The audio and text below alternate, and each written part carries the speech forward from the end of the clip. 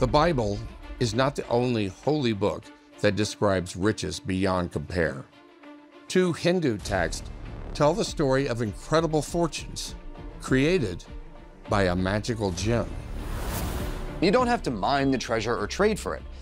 It's magically created, as if from thin air, by an artifact known as the Syamantaka gem. The gem originally belongs to Surya, the Hindu god of the sun, who wears it around his neck.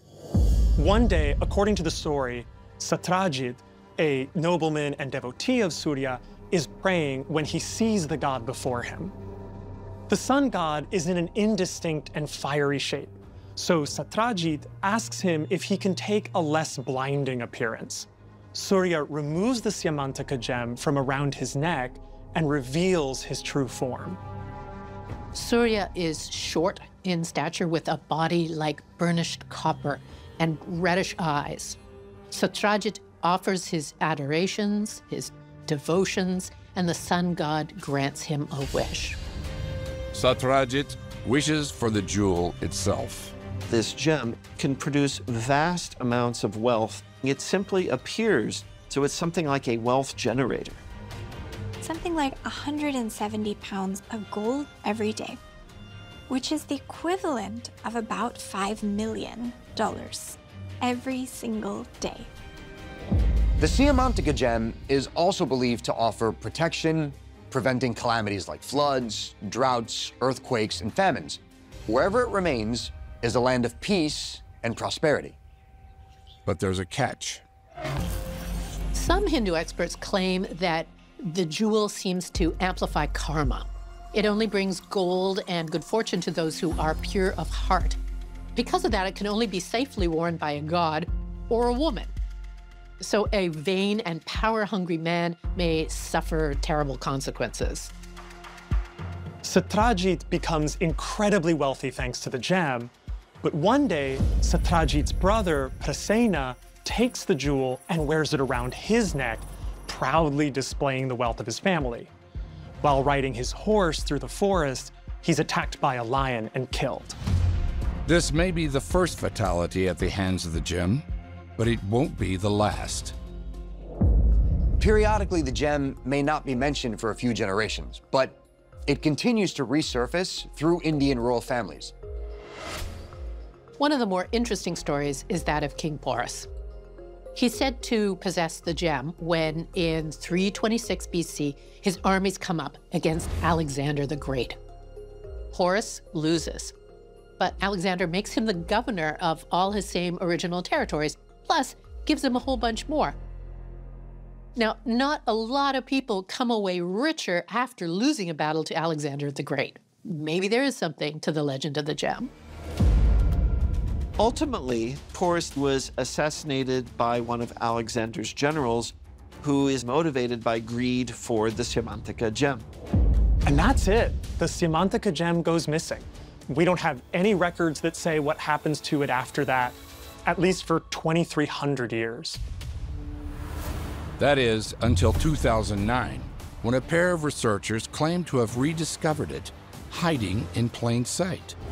Lionel and Patricia Fanthorpe published Secrets of the World's Undiscovered Treasures, in which they say that the Syamantaka gem has indeed survived into modern times.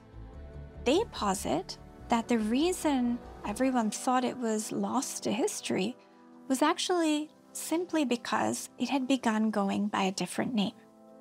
They think the Syamantaka gem is now being called the Kohinoor diamond. The Kohinoor is one of the largest cut diamonds in history. Its name means mountain of light in Persian, and it weighs a whopping 105.6 carats. According to the Fanthorpes, they've uncovered Sanskrit records that date the Kohinoor back over 5,000 years when it was originally known as Syamantaka. Their histories certainly have some parallels. Like the Syamantaka, the Kohinoor has also bestowed incredible wealth to its owners. The Kohinoor diamond first appears in the reign of the Mughal Emperor Shah Jahan. Shah Jahan is best known as the creator of the Taj Mahal. He also had a beautiful throne constructed for himself called the Peacock Throne. The Peacock Throne is made to look like a peacock with its tail feathers extended, and its head was formed by the Kohinoor diamond. The final cost of the throne is said to be nearly four times as much as the Taj Mahal. Shah Jahan is said to be the wealthiest man in the world during his rule, with an empire that brings in 220 million rupees per year. There's no accurate way to convert that into today's money, but it's a staggering amount for the time. In addition to his fabulous throne and lavish palaces, he has 50 million rupees worth of jewelry. But like the Syamantaka, the Kohinoor is also believed to be cursed. When Delhi is attacked by the Persian Nadir Shah in 1739, the Peacock Throne and the Kohinoor are seized.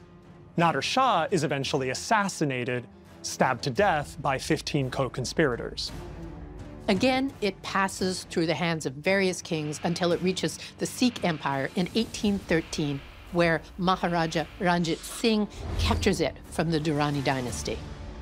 Singh may actually experience the worst fate of all the gem's holders. His entire ruling family is dismantled.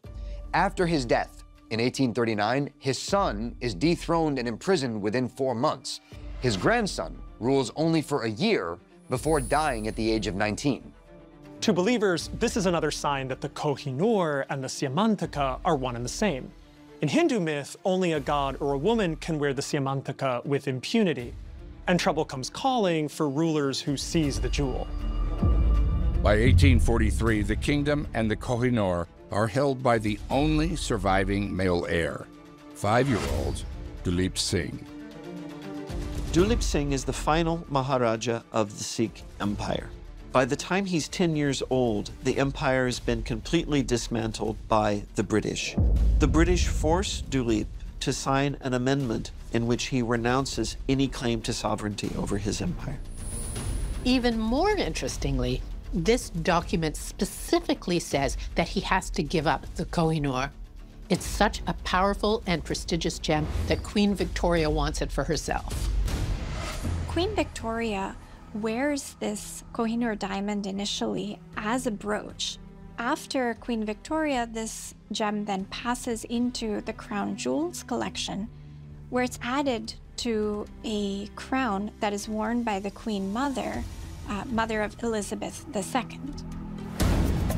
To this day, the diamond is only allowed to be worn by female members of the royal family.